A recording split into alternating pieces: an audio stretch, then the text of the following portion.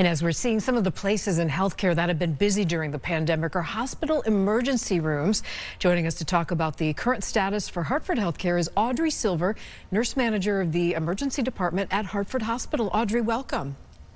Thank you, Lisa. So you've been connecting us with life inside the ER and the nursing profession since the onset of COVID. How are things these days? Bring us up to speed.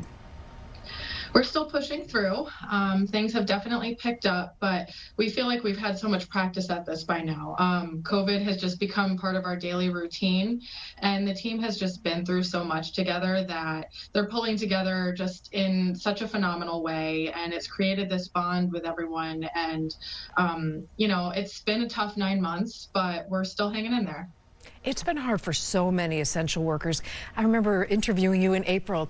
All right, how has your response to COVID in the ER changed over the last several months?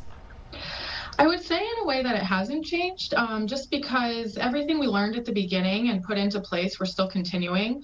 Um, like I said, it's part of our daily routine now to see COVID every day, but we don't treat it any differently. We still are um, promoting the highest safety. Um, we are ensuring that we're still isolating patients appropriately and just maintaining safety for everyone. And so we're taking everything that we've learned and just made it a standard process. All right, great to know. All right, Audrey, have you been vaccinated yet? I just was yesterday, nice. and so far I'm feeling great.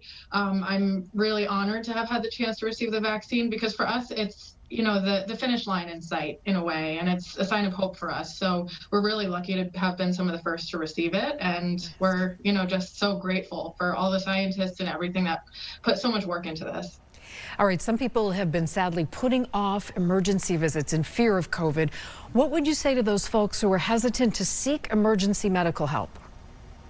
I think that um, the hesitation is understandable, but just we want people to know that we are doing the safest thing for everyone. And, you know, now that we've done this for nine months, we have all these practices and policies in place um, that are consistent.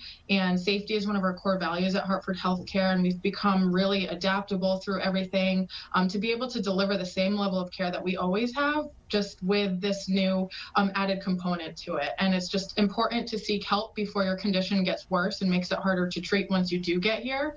Um, so just know that we're here for you and we always will be.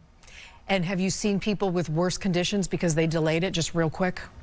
We have. Um, we have seen, you know, people with heart attacks and strokes and things like that, things we classically treat, um, that people were a little hesitant to come in and their symptoms did worsen. So we certainly would encourage people to come in as soon as possible. They could save your life. All right, Audrey Silver, thanks for joining us. We'll talk to you Thank again you so soon. Much. Okay, thanks.